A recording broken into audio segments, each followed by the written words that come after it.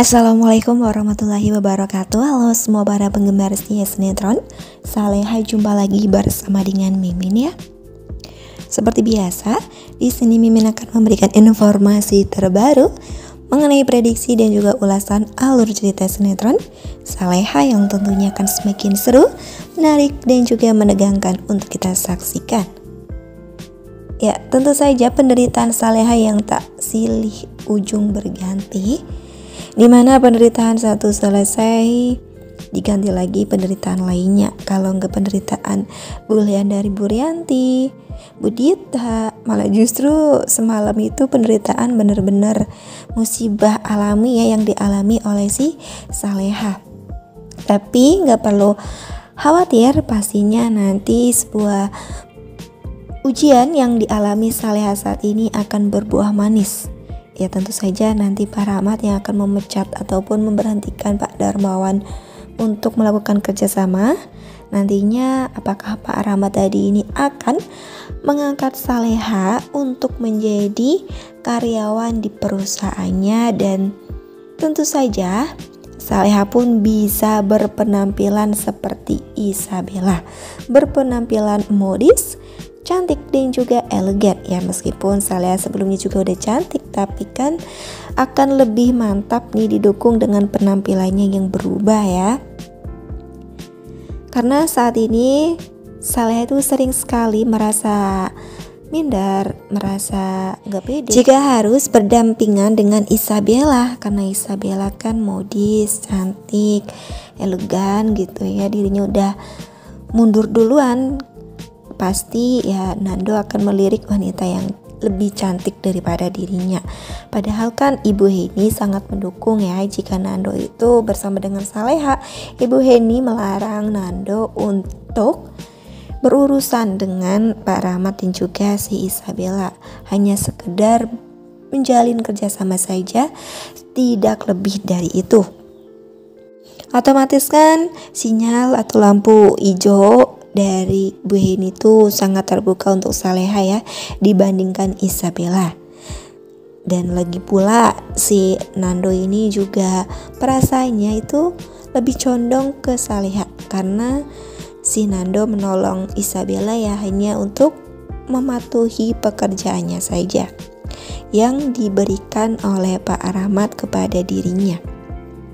Nah sebelum lanjut ke video, alangkah baiknya bagi kawan-kawan semua yang baru saja bergabung dan menemukan channel ini. Jangan lupa untuk menekan tombol like, komen, dan juga subscribe-nya terlebih dahulu. Dan jangan lupa untuk nyalakan tombol lonceng notifikasinya supaya kawan-kawan semua tak tertinggal video-video terbaru dari channel ini setiap harinya.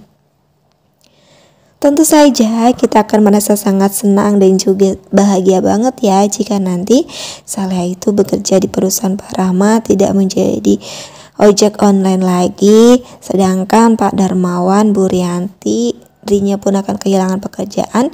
Mungkin mereka pun akan melamar sana sini untuk menyambung hidup. Apalagi si Pak Rahmat juga sudah mengusir uh, Pak Darmawan dan juga Bu Rianti dari apartemen yang ia berikan dan tentu saja ya gak ada pilihan lain lagi ya. Pak Darmawan harus menurunkan egonya dan meminta maaf kepada Saleha. Pastinya ya Nurianti pun tidak mau jatuh miskin dong Dirinya juga akan melakukan segala cara untuk bisa kembali menjadi orang kaya lagi Untuk bisa semena-mena terhadap Saleha Apakah mereka berdua akan meminta maaf kepada Saleha Terlepas dari itu semua, padahal Bara yang anak kandung dari mereka aja memiliki karakter yang berbeda dari Bu Rianti dan juga Pak Darmawan. Entah si Bara ini menurunkan sifat dari mana ya kalau Saleh mungkin menurunkan sifat dari ibunya. Sedangkan Bara bapak ibunya itu sama-sama keras kepala sama-sama jahat gitu ya. Kalau Bara kan sikap dan juga sifatnya itu lembut sekali seperti Saleha. Ya siap-siap saja nanti Pak Darmawan dan juga Bu Rianti akan kaget, shock setelah mendengar pengakuan dari Pak Rahmat jika memang Saleha ini akan bekerja di perusahaannya sedangkan Darmawan akan ditendang dari perusahaannya.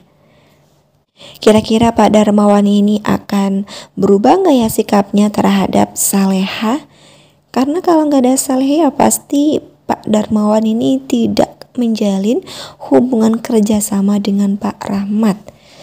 Nah dari situlah Pak Rahmat sangat tegas kepada Pak Darmawan. Kalau kepribadian Pak Darmawan ini mencerminkan kinerjanya. Ya, seharusnya memang seperti itu ya. Saleha yang akan bekerja di perusahaannya sedangkan Darmawan ditendang saja. Biarkan Darmawan itu kelimpungan mencari pekerjaan atau bahkan nanti Pak Darmawan ini akan menjadi OB atau malah justru akan menjadi gelandangan. Wah udah gak sebar banget ya untuk menyaksikan sinetron Saleha yang akan tayang di episode malam ini tentunya akan semakin seru, menarik dan juga bikin kita penasaran. Terima kasih yang sudah bergabung dan bersedia menonton video ini. Sampai dengan selesai, Mimin pamit undur diri. Wassalamualaikum warahmatullahi wabarakatuh.